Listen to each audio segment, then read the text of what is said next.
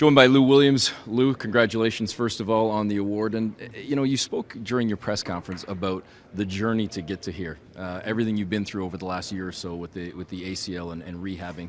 How special does that make this, especially in year 10, to know what you put yourself through mentally and physically to get to this point? Yeah, timing is everything. Um, it couldn't be a better time for me to win this award, especially this is my first year here. Um, my teammates set a bar high for me early on. They wanted me to be the sixth man of the year. Um, they had confidence in me. Just going through all of the adversity that I went through in Atlanta with my ACL tear, and um, just the ups and downs of trying to get back on my feet. Uh, it was just perfect timing for me. One of the comments that you made was that in your career, in your other stops, whether it be in Philadelphia or Atlanta, you've never been as close perhaps to some teammates as you have here in Toronto and been over to homes and, and shared time with friends and family. What is it about this team that you just connected with so quickly with so many of the guys? I think we just have really good guys on this basketball team. Um, we have guys that care about each other.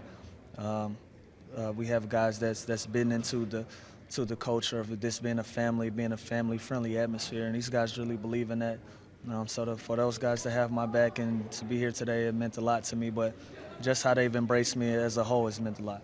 I appreciate the fact that the task at hand is the postseason and trying to even up the series and everything else, but you know, you mentioned this is a perfect timing. It's also, I guess, perfect timing in terms of heading into the off season. Pretty going to be pretty good for you to have some hardware in your hands when you're hitting the open market as a free agent. Do you foresee Toronto being a, a place that you'd love to land for oh, yeah. the rest of your oh, your yeah. career? For me personally, this is this is home. This is home. I, I'm forever grateful for Masai and, and Coach Casey and believing in me and bringing me here in a trade.